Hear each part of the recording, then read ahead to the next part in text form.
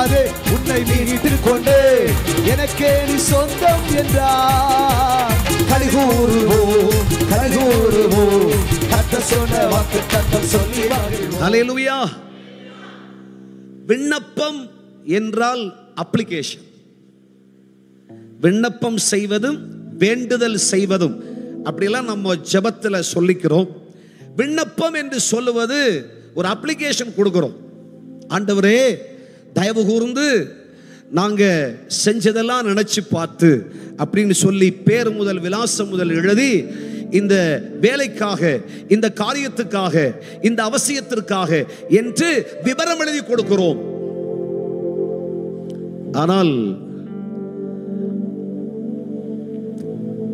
வேண்டுதல் என்று சொன்னால்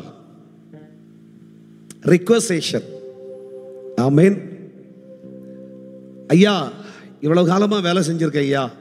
இவ்வளவு காலமா கஷ்டப்பட்டிருக்க ஐயா. இவ்வளவு காலமா சிரமப்பட்டிருக்க ஐயா. ஏதாகிலும் தயவு கூர்ந்து செய்யுங்க ஐயா. அப்படின்ட்டு ஒரு ரிக்வஸ்ட் பண்றோம் பாருங்க. இந்த ரெண்டுக்கும் வித்தியாசம் இருக்கிறது. ஆனால் வேத புஸ்தகத்தில் வாசிக்கிறோம் எஸ்ஏக்கியா தீர்க்கதரிசியினுடைய வார்த்தையை கேட்ட உடனே கத்தருடைய சமூகத்தில் தன் விலாசம் முதலாய் எல்லாம் சொல்லி ஆண்டவரோடு தன் கண்ணீரை கொட்ட ஆரம்பிச்சான். பைபிள் சொல்லுகிறது கத்தருடைய கண்கள் எசேக்கியாவின் கண்ணீரை கண்டது. அலையலுவியா ஆமேன். உங்க பார்வைக்கு நலமானதை செஞ்சிருக்கேன். உம் சமூகத்திற்கு முன்பாக சரியா வாழ்ந்திருக்கிறேன்.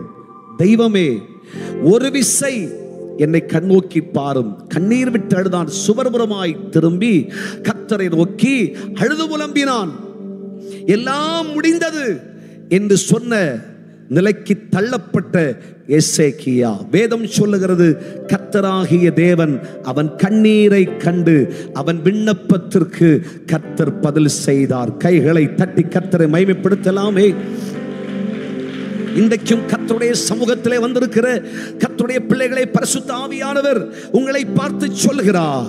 நான் உங்களை காண்கிற தேவன் ஆகாரை கண்ட கண் உன்னை காண்கிறது. எசேக்கியாவை கண்ட கண் உன்னை காண்கிறது.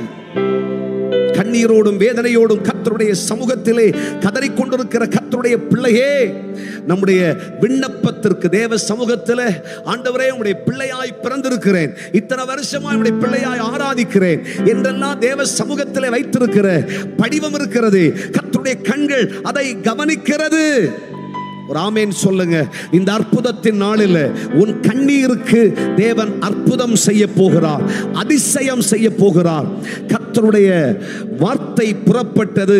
தீர்க்கதரிசி மீண்டும் புறப்பட்டு வந்து எந்த தீர்க்கதரிசியால முற்று பெற்றது என்று சொல்லப்பட்டதோ அதே தீர்க்கதரிசியால கர்த்தர் சொல்றார் உன் ஆயுசு நாட்களை பதினைந்து வருஷம் ஆண்டவர் கூட்டி கொடுக்கிறேன் என்று சொல்கிறார் உன் ஆயுசு நாட்கள் அதிகரிக்கிறது உனக்கு அற்புதம் நடக்கிறது என்று ஒரு பெரிய திருப்பு முனை உன் கண்ணீர் வறுமையாய் போவதில்லை. கண்ணீரை துருத்தியில எண்ணி வச்சிருக்கார். கண்ணீரை காண்கிற தேவன். அலையலூயா ஆமேன்.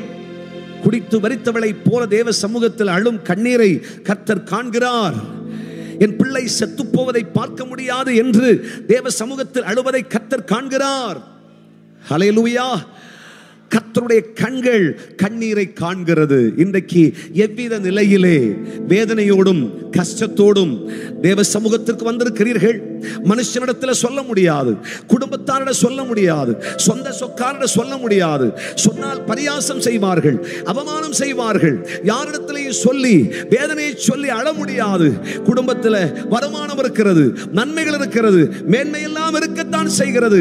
ஆனால் குடும்பத்து நிலையை பார்த்தால் அவ்வளவு வறட்சி அவ்வளவு வனாந்திரம் அவ்வளவு வேதனை அவ்வளவு கஷ்டம் அவ்வளவு நஷ்டம் சமாதானம் இல்லை நிம்மதி அற்று போயிற்று என்ன செய்வதென்று அறியாது வேதனைப்படுகிறேன். சம்பாதிக்கிறதெல்லாம் பொத்தலான பயிலிடுகிறது போல் போய்விடுகிறது. வியாதிக்கு பஞ்சம் இல்லை. வீட்டில் இருக்கிற அத்தனை பேருக்கும் வியாதி.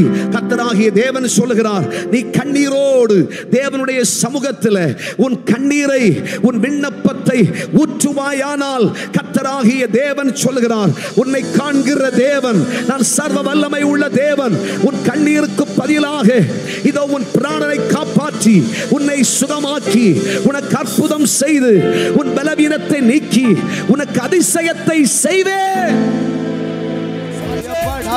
உன்னை மீறிட்டு கொண்டு எனக்கே நீ சொந்தம் என்றார்.